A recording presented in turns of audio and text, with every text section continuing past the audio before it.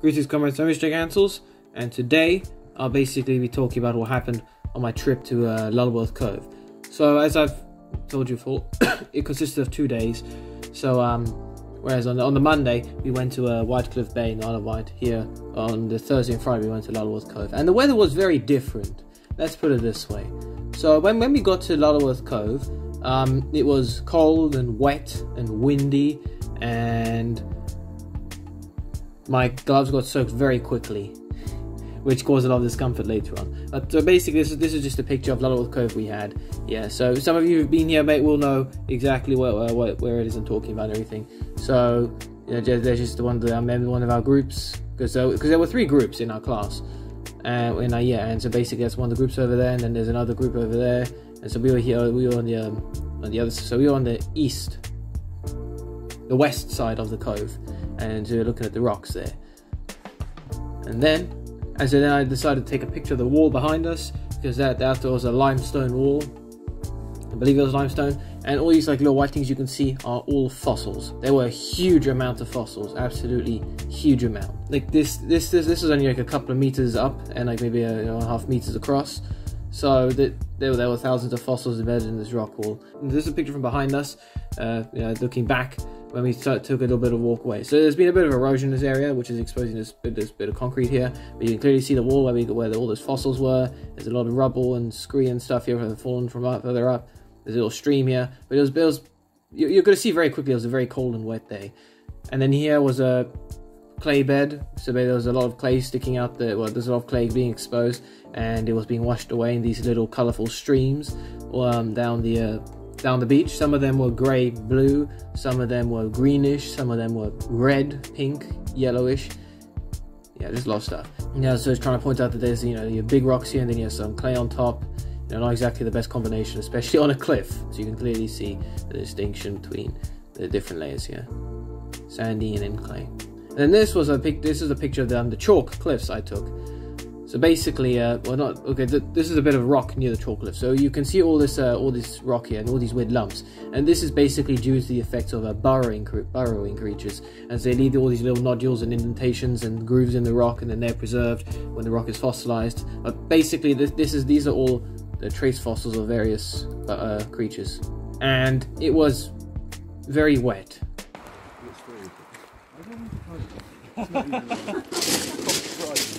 Yeah, you got feeling in my hands again, yeah? Yes, my hands are very cold.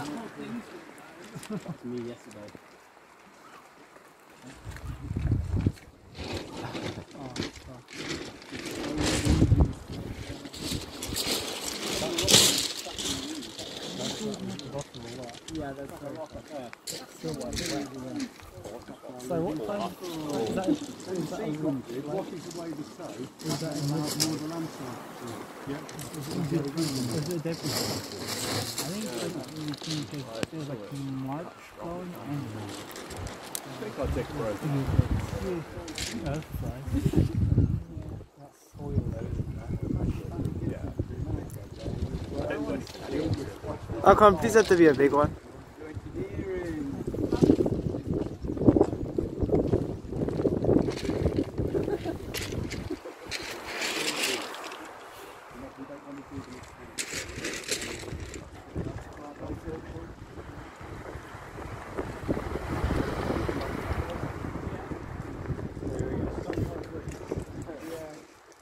Bring it down by, by breaking. Oh. I can say that you I remember sitting in many times watching big waves and it's still quite racist with gravel, which is very tiny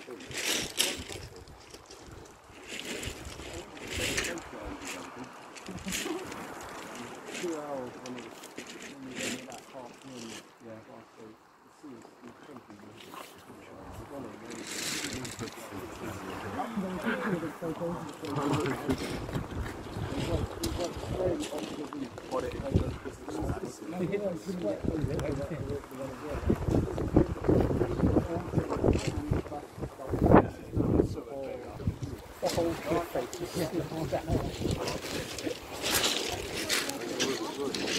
Turn around the entire beach has been blocked off.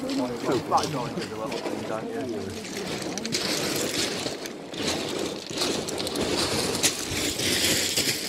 Oh, are we going?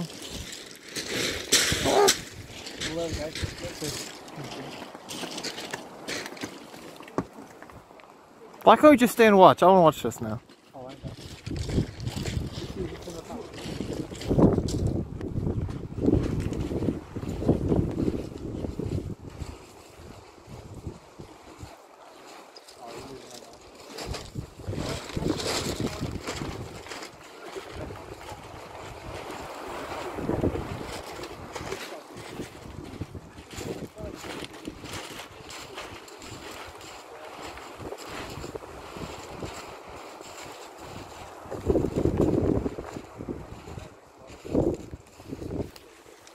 Yeah, so basically we were at this section of a cliff, and I'll show you on the map. Yeah, we were right there. So basically, this uh, this section of the cliff was uh, being was completely saturated because of the clays. And you can hear the wind and see all the rain and everything. And so what happened was the it was basically causing a small mud flow, and you can see it uh, flowing down here at the bottom, which I um, am trying to record now. Yeah, you can see it flowing, almost like, almost like a semi-liquid.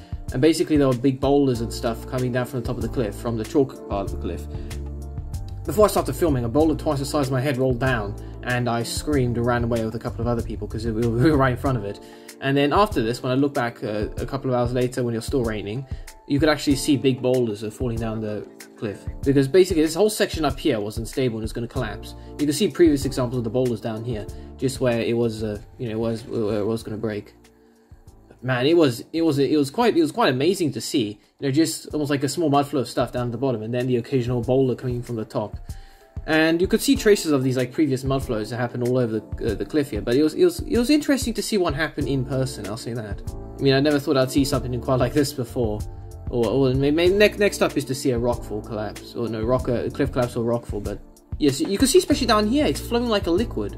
You really don't want to be under that. Like some of those boulders down there, are, like at least the size of your head or the, like the size of your fist to the size of your head or even a bit bigger. And if that of thing is falling from maybe 20, 30 meters up the cliff, that is not going to do you any good if that hits you. Yeah, right now I was trying to get my glove on because my hand was freezing. I had to hold this in my bare hand, but my hand was getting really cold. Uh, so sorry, that's, that's my friend. Uh, basically, my hand was getting so cold that I could have started to lose feeling in it. Uh, it's increasing rain again. So basically, I had to put my glove on. I was so cold filming this.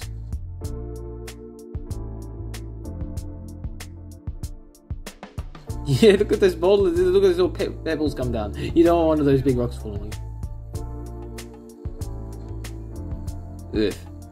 Yeah, you see all that cliff up there. All that cliff up there. You don't want to be under that when that thing collapses. It's oddly satisfying to watch. Oh, that, that's just me, really. But look, there you go. There's, there's a, there goes a bit.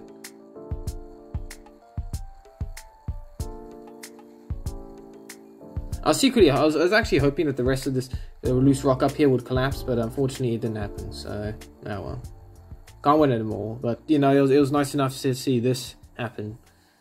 You know, his first experience of this. Hopefully I see something a bit more powerful later on. Oh, yeah. And, um, okay, fine. So, it, it, there's a bit of difference. So what happened after this was you continue to go around the rocks and try and, um, talk about what the different rock types and stuff, or the details about them. But I got very, very cold, and so I couldn't actually take, I couldn't actually write anything because I was so cold. And um, what ended up happening was uh, eventually we stopped for lunch and I was like walking up and down the beach trying to eat everything as quickly as possible because my hands were freezing. Like I had I had gloves on, but the problem was it become saturated with the rain, so it was causing me more harm than anything. And so, like I said in the in the when I was talking about this day previously, I put my hands under my arms for like ten minutes to keep them warm, and they were slightly warm at the end of it. And we walked all the way to the other side of that cliff, to the other side of the cove, and we came then we came all the way back, and I was freezing. So I went to the um so we went to the cafe there and then uh, and I was freezing, and I was it was warm, nice to be in the warmth. And so I ordered a um a latte, a latte, and a and a chocolate chip cookie, and I ate that. Yeah, I met, I met that nice woman. She, you know, the, the, behind the behind the the till. She helped pour the the, the hot. She helped pour the latte for me, and it was really nice of her. And it, it was it was seriously, I, I was I was so glad to be to be warming up to just be warm through the coffee, and then that, that really nice chocolate chip cookie. That was so good. And then after this, this is afterwards. Um, we climb onto this little bit of a rock, oh, this, uh, this um, hill, and we look down here. And uh, you know, so I was, I was warm at this time because then you were, and we were going to leave soon. So I just decided to look here, and you can see a bit of sun over there. But uh, over here, this is basically all chalk. Very resistant to chalk, whereas the beds behind it weren't. and you can see little caves and stuff that had formed. So, and over here, there's a whirlpool over here because the tide would come forced through here, swirl around, and be sucked back out through that tiny gap. Whereas here it was a bit calmer because it was a bit wider, but it was it was a bit dangerous. I didn't want to go down there. And then this is the other side of it, so you can see like all the bend, the folding in the rock here, and stuff. And uh, there's um, someone drinking a coffee cup. There's there's more folds in the rock here and a bit of a cliff there. We saw one guy walk all the way down. Don't know what happened to him, and never saw come back up.